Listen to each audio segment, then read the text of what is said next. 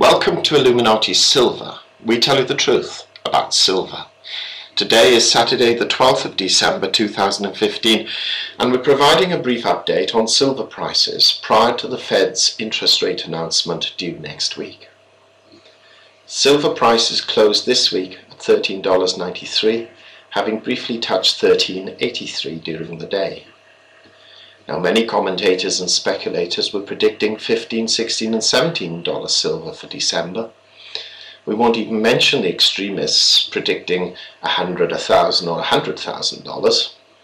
And although we still have some two weeks to go, these levels are highly unlikely to be achieved. With the dollar index closing at a little over 97.5, it is still relatively high and this is undoubtedly having an impact on precious metals.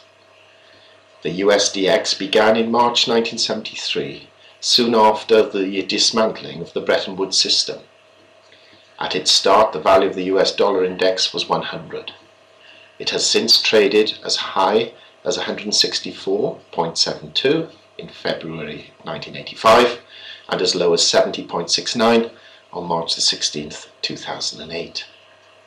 For those who believe that the dollar cannot go higher, should bear in mind that during the period February 2000 through to January 2003, the US dollar index moved between 95 and 120.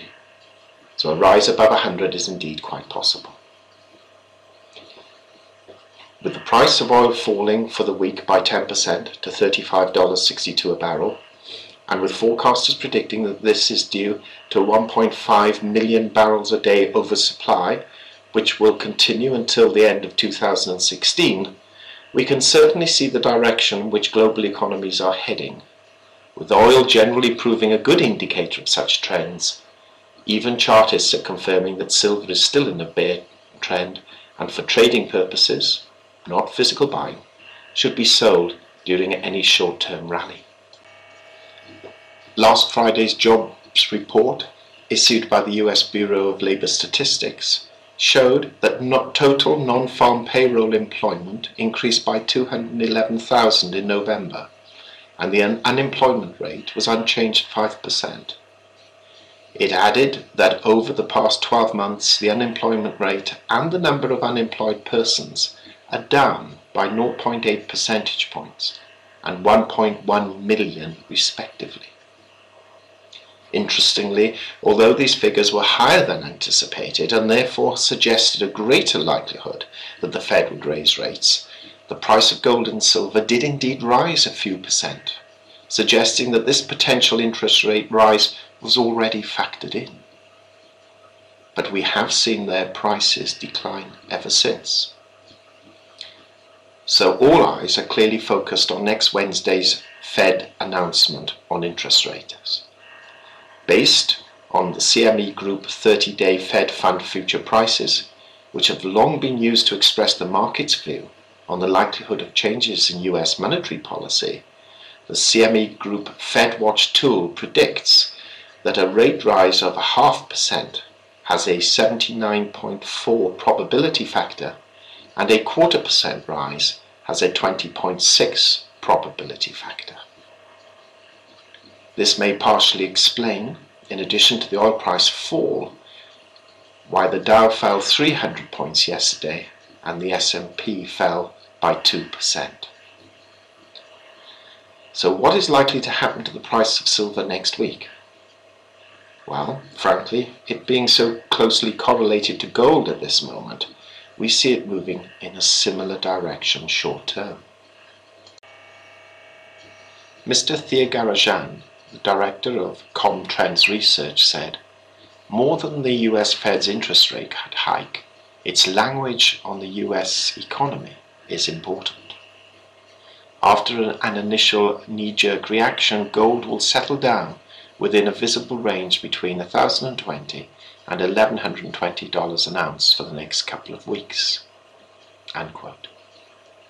Opposing this view, the Bank of America Merrill Lynch Global Research said in a research note, quote, Gold has faced persistent headwinds as dollar, real rates, commodity prices, and volatility have all not incentivized investors to increase their exposure to the metal.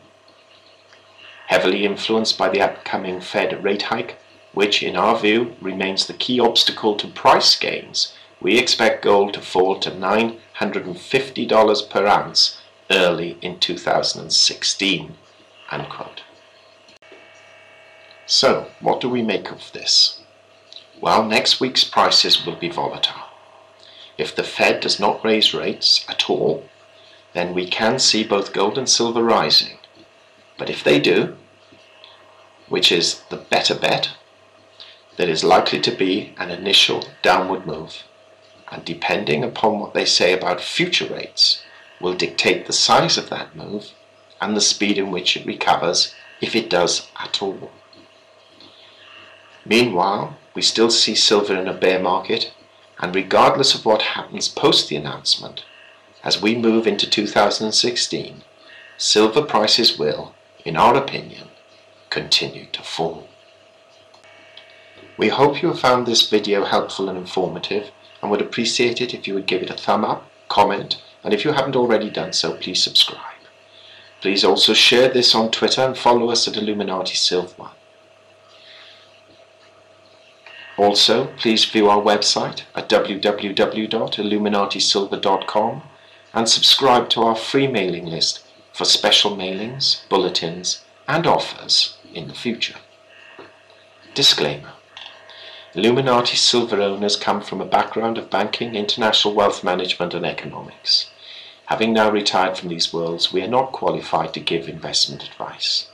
Therefore, this and other productions must not be deemed to be giving such advice, and merely represent the personal views of its owners.